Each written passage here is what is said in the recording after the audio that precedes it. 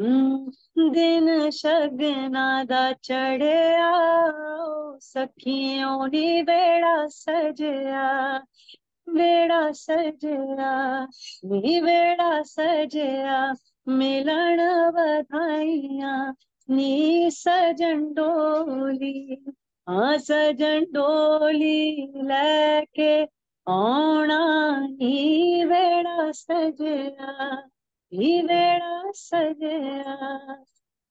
Oh, nice. Thank you so much for that lovely song. Neha Bhasin, welcome to CNN News 18. Thank you so much for the warm welcome. Glad to be here. Neha, that was, of course, your new song titled Din Shagna Da, which has a re resemblance to the already famous uh, song of the same name. But the lyrics are new by Ms. Garima and it's yes. by Samir Samiruddin. Yes. What was it that you wanted to say with this song, Neha? See, folk is folk is a tale, and uh, it's a tale that people tell at different eras, and that's how folk has become a storytelling. I wanted to tell my story or the story of many uh, young brides or women. Uh, you know, before they get married, what do they really feel? Or uh, anyone who's leaving a life behind to have a new one. You know, even when I started my career, because for me there is a sort of a a correlation to that feeling. When you leave home, it's a sort of a bidai, whether for a girl or a guy. And I wanted to walk people down the, the lane of nostalgia, of the love that we that we find in, at a home, or the, the love that parents give us. Before you walk out that door and you know kind of never look behind and walk to another life. So for me, I wanted to tell that story. Then Shagna in general is a is a folk that is uh, sung on the day of a celebration, especially on a wedding, calling out to everybody saying that I'm ready and I'm ready for my, मतलब मेरा जो मेरा माहिया है या साजन है, I'm ready for him and I'm and calling out to all her friends and family for celebration. So, you know, just keeping that tradition going, I wanted to also kind of give an ode to my parents or all parents and also bring in the feeling, like I said, of कुछ छूट जाता है कुछ मिल जाता है you know so that's that's the tale i'm trying to tell through din Chagna. you know, like you said, the song has this slightly melancholic feeling to it. It Yes. talks about the internal pain of of of of of bride of the girl who's leaving her parents' home. Yeah. this Is this the final version that you all uh, uh, that you have come up with, or were there or were there more versions that you tried, which were a little slightly maybe upbeat? No, but Shagna is actually not an upbeat song in general. It's not like it. It's it's an it's a it's a I would say it's a it's a song of celebration, but it's more of a calling out. It's not a Vidai song. It's not a Madhaniya. So it's not it's not supposed to be melancholic. Ours is a bit bittersweet, uh, intentionally so. Uh, because like I said, when you walk down the aisle, everyone feels a strange emotion, bag of emotions. You know, it's not just hey, I'm going to do something new. I'm going to get married. It's also like I'm getting married. Like this is a new life I'm embracing. I'm I'm a grown person today. I'm it's like adulting. So uh no, we didn't make many versions. And honestly, I never do. For me, I'm I'm like I'm very sure of usually what I want. It's very rarely when I feel like it's not landing. And I also feel that अगर आप मन से करते हो ना, like as a team, if you allow each other, like whether it's the writer, the composer, the singer, if you allow everyone to flow and bring in a piece of them in a song, I think it always turns out better than you just kind of putting it on a board. And like it's not a business meeting, you know, it's it's it's it's creative. So uh कभी कभी ऐसा होता है कि words flow नहीं कर रहे या कोई म्यूज़िक फ्लो नहीं कर रहा तो you do this minor changes but most of times it's just literally an ebbing flow of sorts and you know you just let the song land where it where it needs to just digressing a little bit but staying with the music then do you sing is there a formula to make a hit hit song not really there isn't because see anyone who made a hit first was he first And when we try to follow that formula, then we are just the second or the copy of that. Uh... But kabhi kabhi feeling aa jati hai. When you're doing a song, when you're singing it, and you feel, if you're feeling good about it, I think you kind of know this is going to translate. But I feel when you're not feeling good about it and you're forcing something, see, you can generate a hit. It's not like you can't, but then those songs don't last. The songs that eventually become like a lifetime kind of songs is songs that grow on people and takes time. Sure, sure. You know, your YouTube channel is filled with many Punjabi folk songs. Yes. I really like the song Kut Kut Bajra and Jutti Meri. Thank you. So what triggered this idea of revisiting your roots when you decided to devote your time and energy in in in in, in these Punjabi songs? You know, I, I feel a bit of destiny, like so to speak, because uh, I've, I've said this very often. I'm not I'm no folk singer. I'm no traditional singer. I'm a pop star. I'm a bona fide pop star. I was trained for that. I was born for that.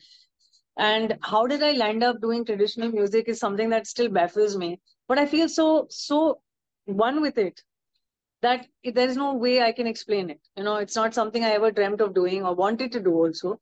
Uh, but once I forayed into onto that path, it's like as if the path was calling out to me more than me calling out to the path And there's a lesson I've learned from that. Like all the dreams that I saw for, for myself as a musician, I've often found those things being elusive to me, you know, as if I'm chasing it and it's running away from me. And this is the path I didn't chase and it kept coming to me.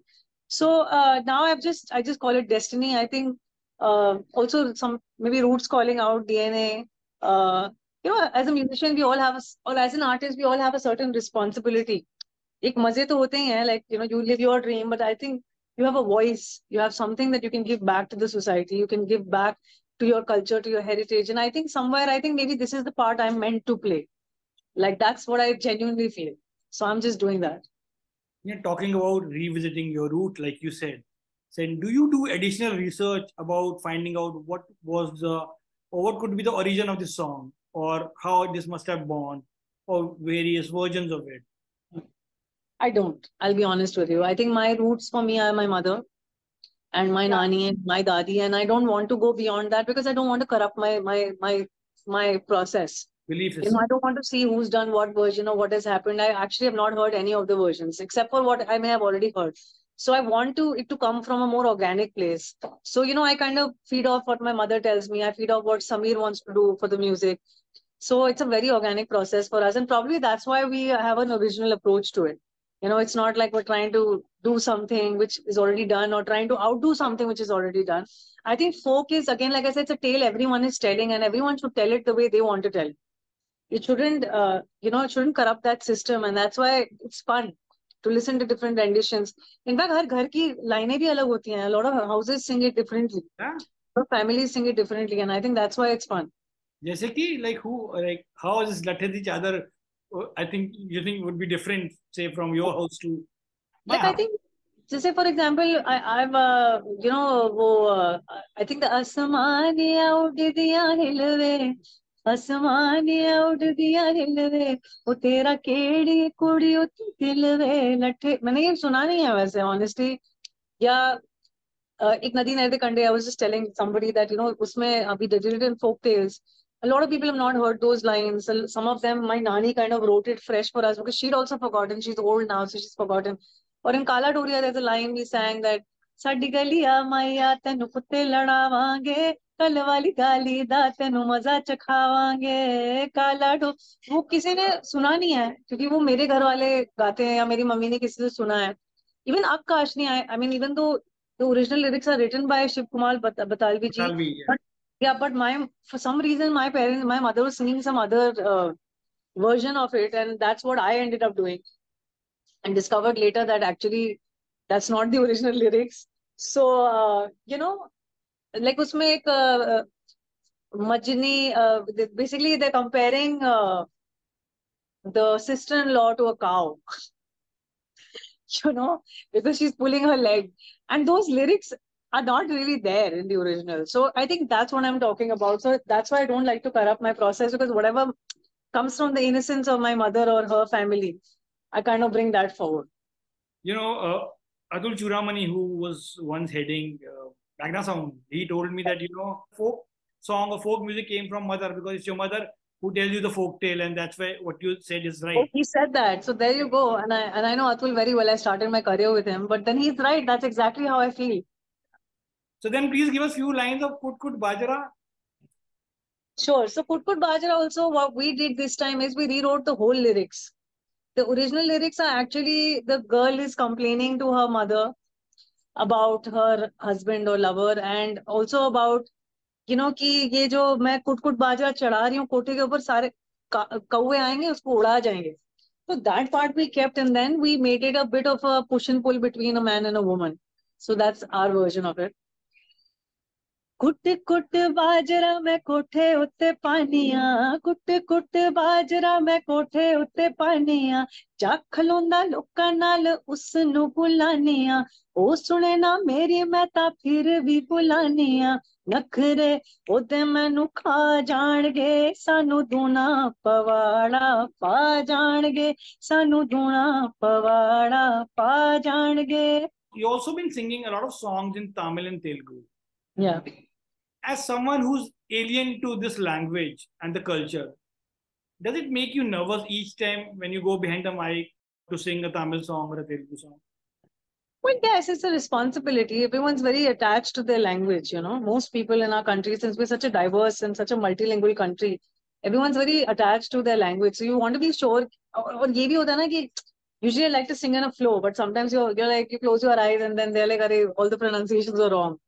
So sometimes it's an uphill task, but I don't feel as nervous anymore. I actually look forward to it. It's really fun. I recently sang a Tamil song, which is not out yet, but I had sung a Tamil song after a very long time and I just, I forgot how much I actually enjoy singing other languages.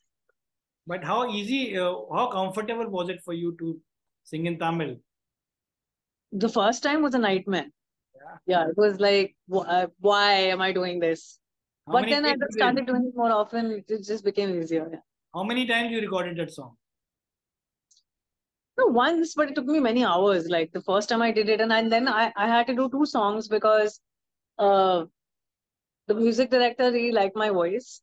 And there was a director passing by and he heard my voice and he said, आपको एक और गाना गाना and I was like, मत मारी गई है यहाँ आए क्यों हम एक गाना गाने आए थे अभी दो गाना but that song became like the biggest hit of Yuvan Shankar Raja I mean most loved song actually and I won my first award for that song so I like I said I do believe in destiny sometimes a lot. Like I feel when things are supposed to happen for you we a lot often they're not we fight a lot. I fight a lot I know that. But I think when you don't fight things happen for you more sometimes. I don't know